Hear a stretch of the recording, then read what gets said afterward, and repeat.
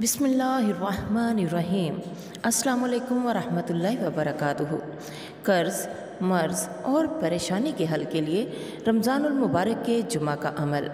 अगर आप बहुत ज़्यादा परेशान हैं और परेशानियाँ इसतरारियाँ और बेकरारियाँ बहुत बढ़ गई हैं तो रमज़ानुल मुबारक के जुमा के दिन 100 बार पढ़ें, ला इलाहा वल्लाहु अकबर, वला वला कुव्वता इल्ला बिल्लाह। अलामा मंजरी रहमतुल्लाह लिखते हैं कि हदीस में आया है कि जब बंदा इस कलमा को सौ बार पढ़ लेता है तो अल्लाह उसके सारे गुनाह माफ़ फरमा देता है। और इंसान पर जब परेशानी हो जाए तो जुमा के दिन दो नफल पढ़ने के बाद इस कलमा को तीन सौ तेरह बार पढ़े। तो हर तरह का कर्ज़, मर्ज़ और हर किस्म की परेशानी अल्लाह तबारक व ताली दूर फरमा देता है।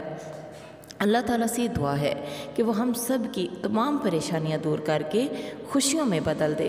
अल्लाह ताला हम सबको ज़्यादा से ज़्यादा इबादत करने की तोफ़ी अता फ़रमाए और उस इबादत को कबूल भी फ़रमाए। आमीन।